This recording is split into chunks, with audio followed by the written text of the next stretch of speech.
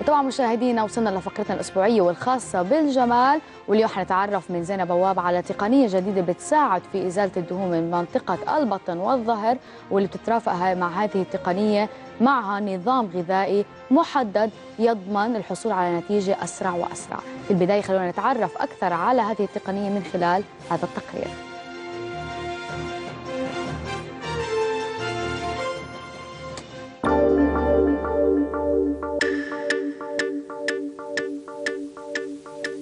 موضوعنا موضوع التنحيف. بس اليوم شوية حبينا ننوع بطريقة الموضوع. وحبينا نتناول الموضوع بالتنحيف بالمكنة مثل ما بتعرفوا بننحف أول شيء بنكسر الدهن وبنشد الجسم.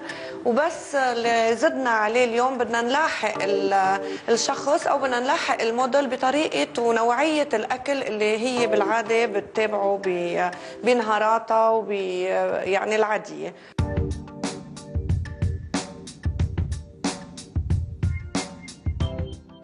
اليوم أنا رح بلش مع ديما بالعلاج بدي كسر الدهون اللي متواجدين هون واشتغل كمان على تكسير الدهون هون وبدي كمان شد لها العضل بإجريها مشان ما يصير عندها ترهل.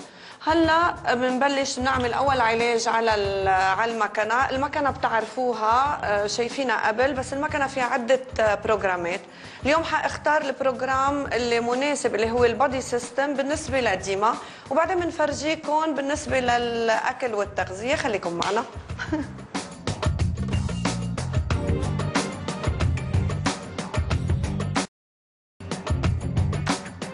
بعد ما قيسنا ديما ديما وزنها 67 الخصر 79 الإجرين محل ما شفنا الفات على الجنب الإجرين في عندي 61 و63 بدي أشتغل إنه يكونوا متعادلين لأنه في دهون على الإجرين في منطقة أكثر من منطقة. هلأ بنروح على المكنة وبنشوف شو رح نعمل.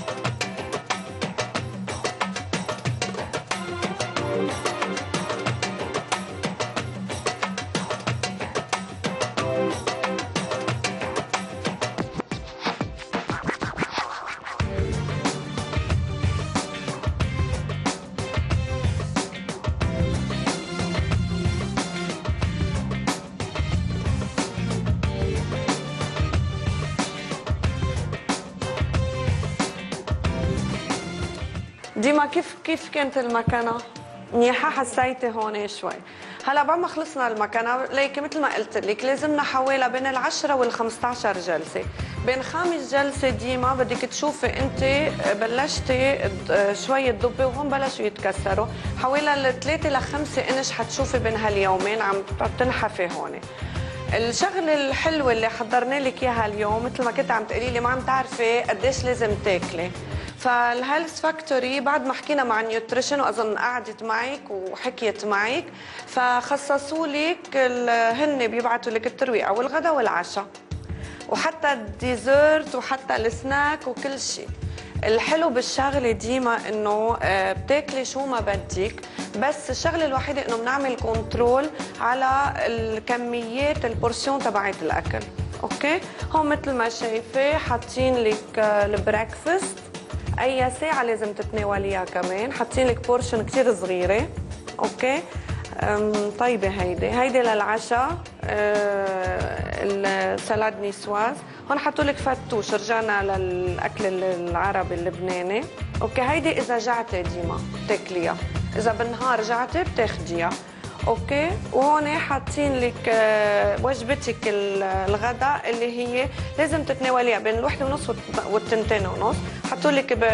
قلت لهم إنه بتحبي لأنه ال chicken عملوا لك chicken مع mashed potato. okay؟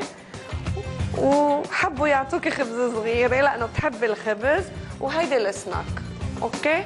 آه هولي ديما انت بقى بت آه مثل ما مكتوبين بتتبعي.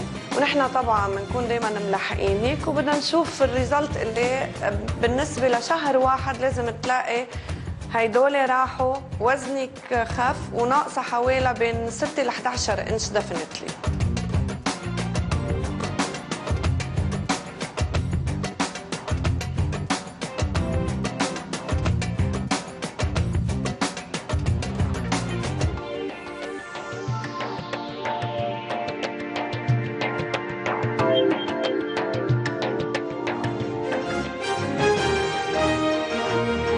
لنحكي أكثر طبعا عن هالحالة اللي تناولناها اليوم في هذا التقرير وهي ديما. نرحب فيك زينب بواب برنامج يا هلا. آه، زينة اليوم تقريبا استخدمتي التقنية بجانب نظام غذائي وهذا الشيء جديد نوعا ما من خلال إنه على مدار سنة كنا دائما نتناول تقنيات تقنيات. خبرينا شو الغرض من وراء دمج هذا اللي عم بيصير. اللي حبيت نغير بالموضوع إنه عم نشتغل على تنحيف الشخص وما عم نفرجي آه، على الشاشة يعني. كيف عم نجرب نتبع معهم ال- الغذاء اليومي اللي هن عم بياخذوه فالحالة اللي كانت عنا هي عم تشتكي إنه هي منا يعني الفات اللي عندها اياه موجود بمناطق. بمناطق مختلفة. صح. فبحاجة ديما كانت إنه آه، طبعا على المكنة وبالتقنيات اللي عنا نحن. آه، بدنا نكسر لها الدهون نخليها تعمل ديتوكس لكل شيء فيه دهن بجسمها.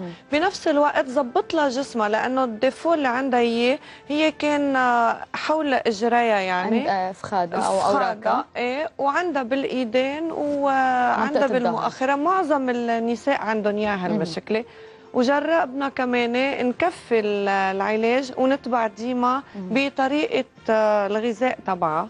فتعاوننا نحن طبعا مع ال Health Factory اللي هن آه، الخبيرة عندهم بالفحصتها يعني الدايتيشن وشافت ديما شو لازم تتبع أي نظام آه، غذائي. وطبعا تحت إشرافنا بضلوا هذا أكيد. الشيء. يعني في فحوصات معينة بتصير ليختاروا النظام الغذائي. هذا النظام الغذائي بيكون رجيم آه، زينة أو بيكون فقط عبارة عن آه، تحديد كميات محددة من الغذاء اللي هي ما تكون كثير وضخمة.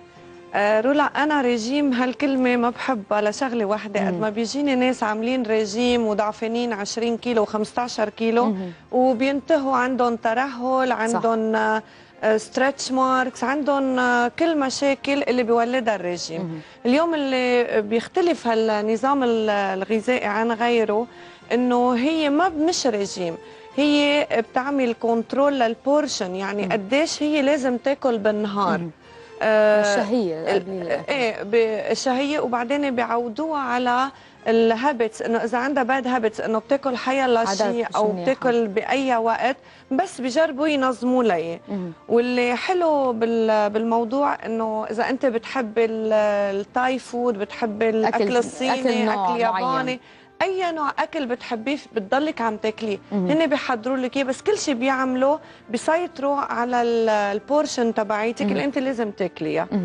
وعم نحكي بالرجيم ما بي ما بيمنعوك تاكلي آه، أو تمتنعي عن البروتين لأنه هيدا كتير مهم للجسم. طبعا أساسا. ما فيك تمنعي حالك عن أشياء أو فيتامينات بحاجة. ليش بالآخر بصير صح. عندك ترهل؟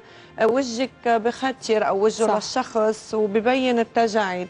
فهون الحلو إنه بيقص بي- بيقسموا الأكل. مهم. 50% بيعطوك كالوري من الكربوهيدرات بيعطوك 40% calories من ال high protein وبنفس الوقت 10% بيعطوك invisible fat اللي هو الدهن اللي انت بحاجة جسمك له يكون موجود في الجسم. إيه. يعني زينا نوعا ما هي عبارة عن مثل ما قلنا تخفيف كميات الأكل وبنفس الوقت إنه تقليل شهية الشخص نفسه. ولكن السيطرة على على قديش انت. فيك تاكلي. طيب في أيام راحة يعني دائما بنسمع للأسف حقول لك كلمة رجيم دائما بنسمع هناك أيام راحة بتكون بالأسبوع. الشخص فينه يتناول مثلا وجبات سريعة أي شيء نفسه ياكله. هذا الشيء موجود في هالنظام أو لا؟ ليكي هو النظام منه رجيم. هو بتاكلي شو ما بدك. أنت شو بتحبي؟ لما بتروحي لعندهم بتقولي لهم أنا بحب هيك وهيك وهيك. بيبعتوا لك إياهم هو نفسه. ما بعرف إذا انتبهتوا بالريبورتاج. حاطين ال candy bar اللي بتشوفيه. بأي. مسرح يعني حاطين لك أنت شو بتحبي. بس مثلا بدل ما تاكلي اثنين بيحطوا لك وحدين هاي بدك تاكليها. طيب. فمش إنه كل شيء موجود. كل شيء بس موجود. كميات محددة. حياتك الطبيعية بتضلها نفسها بس بتعملي control على الأكل. حلو. طب لما توصل للحالة مثلا لو ديما طبعا أنت حالة حتتابعيها لما توصل للوزن انت بدك اياه وتخلصت من هالدهون الزائدة حتستمر على هذا النظام حيكون سيطرته على شهيتها نوعا ما أو لا حترجع زي قبل. الحلو بالنظام هيدا إنه بيعلموك أنت تصيري أنت تعرفي كيف بدك تاكلي. فالنظام فيه يروح على شهر فيه يروح على ثلاث أشهر.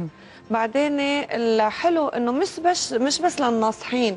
يعني إذا أنت كنت عندهم عدة بروجرامات إذا أنت كنت رياضية وبدك تاكلي كمان فيك تتبعي هالنظام. طبعا حلو. الخبيرة هونيك بتقول لك شو تاكلي. إذا بدك أنت ح... إذا أنت حامل وما عندك وقت وهذا كثير مهم للرجال. إذا ما. عندهم وقت يطبخوا إذا بيعملوا رياضة وبدهم ينتبهوا على أكلهم فبيختاروا ال program اللي هو ملائم لهم يعني. يعني ف- موجود لكل الحالات مش فقط للناس اللي بيعانوا من السمنه الزائده أو عندهم مشاكل في جسمهم. للمرأة الحامل للرجل الأعمال اللي ما بيشكي من زيادة وزن اللي عنده كوليسترول اللي عنده آه، عنده ال diabète اللي عندهم مشاكل. حالات معينة إيه، طبعاً. كل حياة الم... حتى إذا أنت آه، أو أي شخص بيعاني من أي مرض يعني ارتفاع ضغط ارتفاع كوليسترول كله هذا بيقدر طب زين لو قلنا انت بتتكلي على شو بهالموضوع؟ بتتكلي على التقنية أكثر ولا على النظام الغذائي ولا الاثنين نفس الشيء؟ ليك الايتين بدها تزقف سوا. يعني ال- الشخص إذا ناصح ما فيه بس يروح على نظام معين طبعا ما في نتيجه و- سريعة إيه أنا بدي كسر أنا بدي ساعد الشخص إنه كسر هالدهون. آه، فضي هالدهون من جسمه. وبدي الإيد الثانية تزقف معي إنه هي تساعدني آه، يعملوا كنترول على الأكل اللي اللي هو عم بياكله أكيد. وطبعا الشخص لما بيشوف نتيجة من أول جمعة بصير بصير. عم يتشجع صح. أكثر ليكفي العلاج صحيح مزبوط آه، زينب في النهاية نصيحة بتقدميها لكل شخص بده يقوم بهالطريقة اللي أنت عم تذكريها بحلقتنا لليوم لتساعده ويساعدك أيضا لتحصلوا على النتيجة المثالية أنا بقول لكل حدا بده يضعف أو بده يفوت بال بالنظام ال- الأكل. تبع Health Factory لازم كتير كتير كتير يتبعوا. يعني إذا بدهم يجوا لعندي بعطيهم المواعيد لازم يلتزموا بالمواعيد. إذا بعثوا لهم الأكل لأنه هن بيبعثوا لك الأكل صبح وظهر وعشية. صح. وجبات آه، الأساسية. الوجبات الأساسية و snacks و dessert. لازم يأكلوا خفيفة. بس. مش إنه يروحوا وياكلوا شيء ثاني هذا. كثير مهم تتبعي النظام لانت تسيطري على حالك أكيد كمان. الالتزام هو الأساس ليحقق. أي شخص النتيجة بده إياها في النهايه زينب متشكره كثير لتواجدك معنا وإن شاء الله بنشوفك الأسبوع الجاي. شكرا كثير لك